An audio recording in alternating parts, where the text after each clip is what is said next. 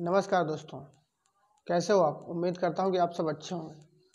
तो दोस्तों, आज हम आपको सिखाने वाले हैं कि व्हाट्सएप पर होम स्क्रीन पर अपना फ़ोटो कैसे लगाएँ। तो व्हाट्सएप चैट करते हो आप लोग, उस चैट का जो बैकग्राउंड होता है, वहाँ पर आप अपना फ़ोटो लगा सकते हैं। फ़ोटो लगा सकते हैं या कोई वॉलपेपर लगा सकते हैं। तो दोस्तों, बने रहिए हमारे साथ। हम आपको बताने वाले हैं कि अपना फ़ोटो कैसे लगाएँगे। दोस्तों, जाएँगे आप, सबसे पहले क्या करेंगे, आप व्हाट्सएप पर जाएँगे। और व्हाट्सएप पर जा करके आप थ्री डॉट जो साइड में होगा, ऊपर कोने में, उस थ्री डॉट पर क्लिक करेंगे। उस थ्री डॉट पर क्लिक करने के बाद आपको सेटिंग्स पर क्लिक करना है। सेटिंग्स पर क्लिक करने के बाद वहाँ पर दो ऑप्शन आपको सबसे ऊपर दो ऑप्शन दिखाई देंगे। एक थीम का ऑप्शन होगा, दूसरा होगा वॉलपेपर का। तो उसमें आपको वॉलपेपर वाले ऑप्शन पर क्लिक करना है।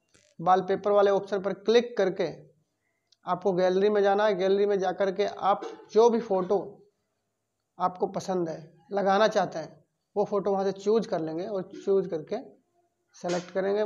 फ़ोटो सेलेक्ट करके उसको सेट कर देना है। आपका फ़ोटो सेव हो जाएगा। आप जहाँ भी चैट करते हैं चैट के बैकग्राउंड पर आपका फ़ोटो सेव हो जाएगा। तो दोस्तों, कैसी लगी आपको हमारी जानकारी? जानकारी पसंद आई हो तो वीडियो को लाइक करें। चैनल पर नए हैं तो चैनल को सब्सक्राइब ज़रूर करें।